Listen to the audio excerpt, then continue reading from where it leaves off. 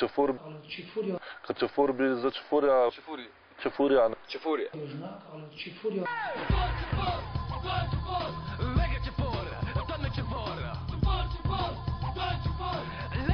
Спрел съм е такова да не се спрел. Не.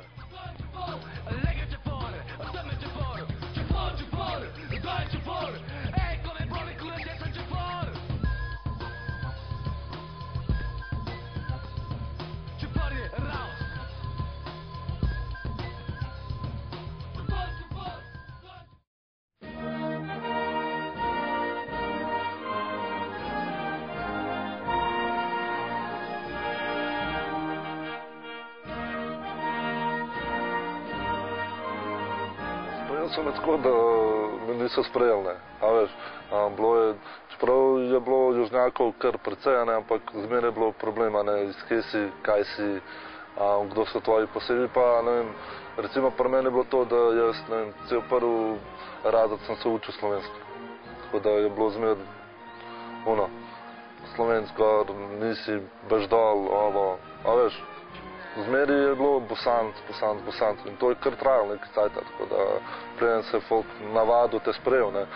To je bilo bolj pri fantih, ne, punce so bile pa zmer bolj tako uljudne pa spre, te sprejele, vsaj pri meni je bilo tako recimo, ne, ne vem zakaj, ampak zmer sem se s puncem bolj razumel, kot s fanti. Uh,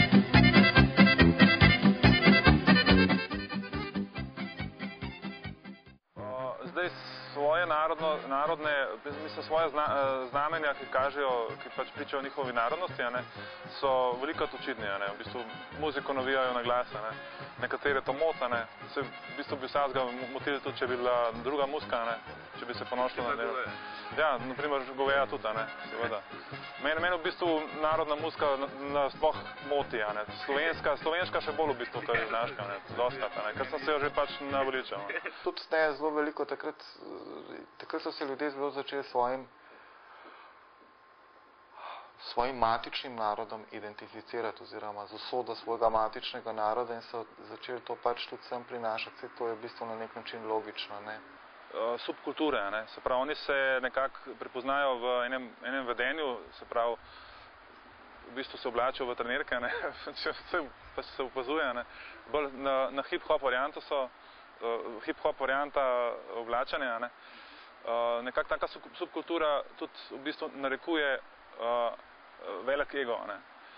V bistvu. in, in ta velik ego se kaže pa tako, da um, gre, jaz govorim zdaj iz te strani, ne, uh, iz, pač iz uh, strani teh mladih južnjakov, ne, uh, in ta velik ego v bistvu se velikrat pač krha, ne, uh, in, in brusi ob uh, tisti trend, ne, se pravi, uh, če pa pogledamo na strani Slovencev, je pa izzivanja velik, uh, v bistvu pod, podcenjevanja, ne, v bistvu in, uh, je, in v bistvu je bilo, je trezno za pričakovati, da so se, da so, da, da so se ustvarile subkulture, ne.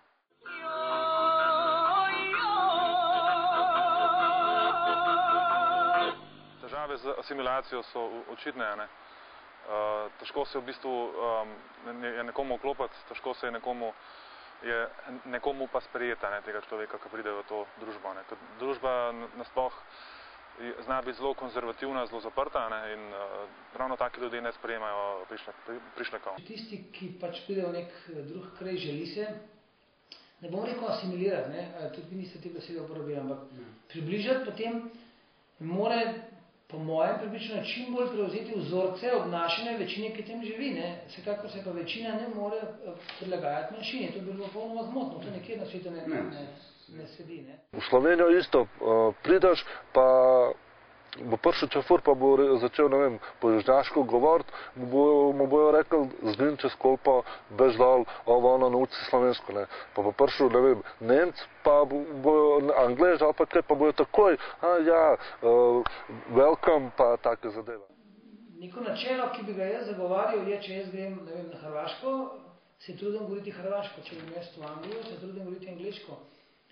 Ljudje, ki se asimilirajo, ne, uh, bi mogli tudi uh, kulturne in uh, v bistvu te narodno, narodnostne značilnosti narodna, na, naroda, kjer živijo, pač povzeti. Ne.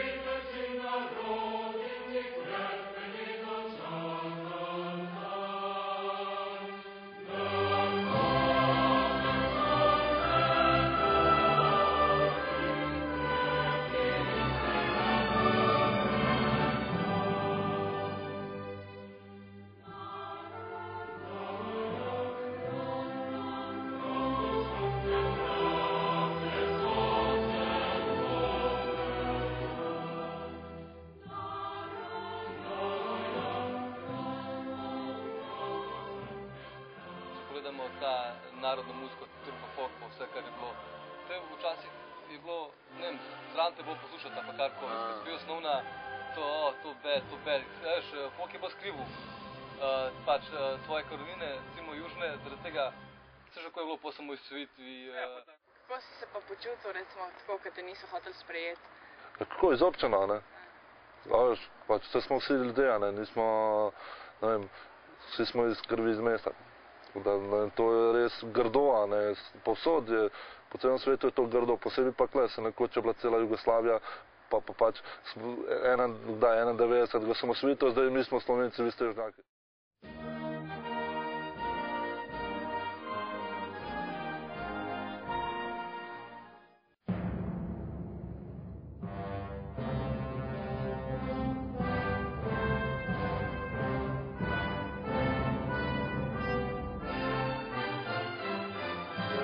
Zdaj se je vse to spremenilo, ne, sam 15 let nazaj je bilo pa vse drugače, ne, kva on dela kle, veš, a veš, kva so oni prišli sem, a ne, a veš, kaj, so, če ne, kaj, milijon čefurjev je telo v, Sloveniji, a ne, že takrat jih je bilo ful veliko, razumeš, 91 se so jih klicala, ne, Slovenci, a ne, pridi, pridi, pa pa kva delaš kle, ne moreš to.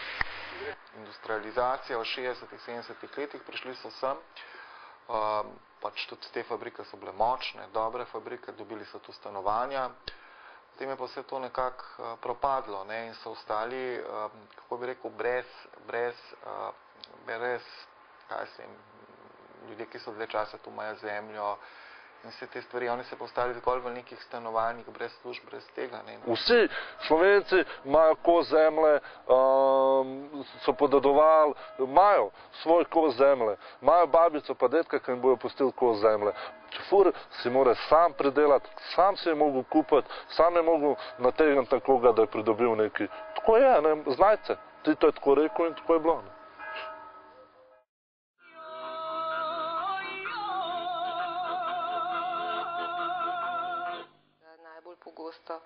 Agresivni izpadi razvijajo iz verbalnih, uh, verbalnega nasilja. Ne? To pomeni uh, zmerjanje, uh, poniževanje, skratka, tako da, da to je, tudi včasih se to dogaja na nacionalni osnovi, ne recimo. Veste, zdaj, če imate štiri, pet, ki so recimo druge narodnosti in so izrazito agresivni in izrazito taki, zelo hitro nekaj začnemo generalizirati. Ne? In med vodah imamo ene deset, enajst takih, ki, so, ki niso recimo slovenske narodnosti ne? in so pač izrazito agresivni. Ne? Samo med vodah imamo čez tisoč takih ljudi, se pravi 990 ljudi, ne? pa pač ni takih. Ne? Zdaj, mi iz teh desetih, enajstih, ki so pa res problem, velik, težava, ne? generaliziramo potem na vse stvari. Ne? recimo iz romske skupnosti.